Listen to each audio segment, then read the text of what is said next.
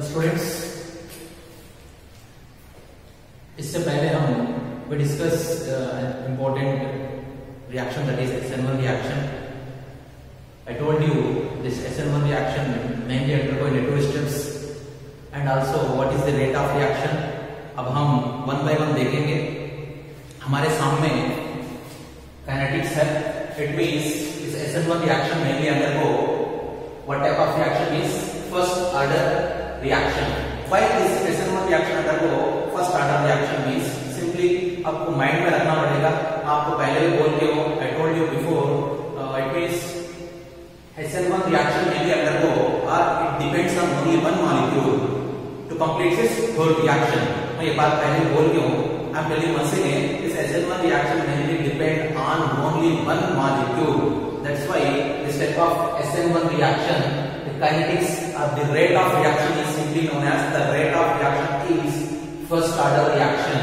See वो जो SN1 reaction में जो molecules थे what are the uh, reactants हाँ हमको OH माइनस भी था as well as 3 degree butyl halide भी था तो ये दोनों में से out of these two uh, reactants which type of reactant uh, mainly SN1 reaction is depend on which type of reactant means that is alkyl halide or we can simply known as 3 degree butyl halide that's why uh, rate of reaction simply known as rate is equals to K K nothing but that uh, uh, rate of reaction or X it means 3 degree butyl halide this why uh, SN1 reaction depend uh, why it shows first order reaction means it depends on three degree in the इसके ऊपर depend था but not on OH minus OH minus के ऊपर depend नहीं हुआ। That is main differentiation first order क्यों? यहाँ पर आया।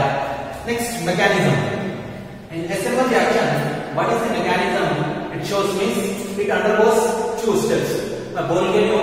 Before we getting 3 degree 3 degree butyl alcohol it shows it means it undergo mainly two steps मैं आपको बोल के भी हूँ स्टेप वन क्या था? स्लो था एज वेल एज रिवर्सिबल था। I told you step one is slow as well as reversible then step two step two that is fast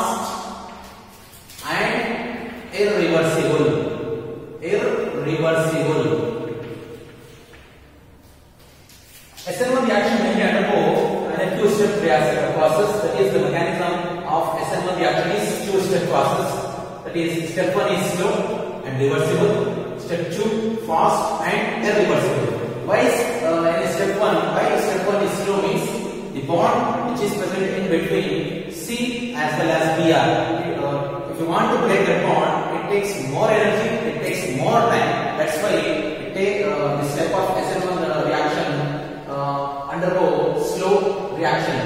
Step one क्या होगा? Slow होगा. Next fast क्यों है? Reversible क्यों है? Irreversible क्यों है? Go through once वो. Next, what is the stereochemistry of SN1 reaction? Nothing but uh, trigonal planar carbocation. Carbocation आपको स्टेप वन में आया था like this carbocation this is the carbocation I am telling you stereochemistry of SN1 is trigonal planar carbocation trigonal planar carbocation this is the carbocation molecule next what is the uh, stereochemistry of SN1 reaction nothing but what type of mechanism it shows SN1 reaction means that is the racemization. Very important. The uh, mechanism which shows in uh, SN1 reaction are nothing but racemization. क्या आपको याद रखना पड़ेगा racemization.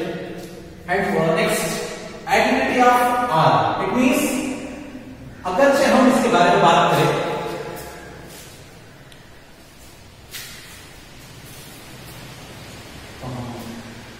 ठीक है identity of identity identity of R it means this SN1 reaction mainly uh, what type of it means what type of halide that it use means more substituted halides react more faster. Less substituted alkyl groups react with less faster. It means slow से react कर सकता है। ये mind में रखना पड़ेगा। More I am telling more substituted halide react very faster it means हम यहाँ पर क्या यूज़ करते थे?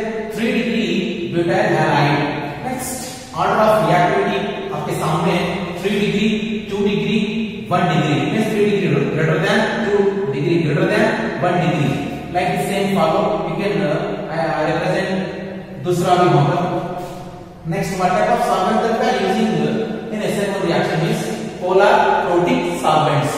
Polar protic solvents. I am telling you polar protic solvents. Examples भी आपके सामने that is water molecule, methyl alcohol, next uh, acetic acid, formic acid. Don't confuse कौन सा भी यहाँ पर molecule in case in competitive side दिया तो don't forget this polar protic solvent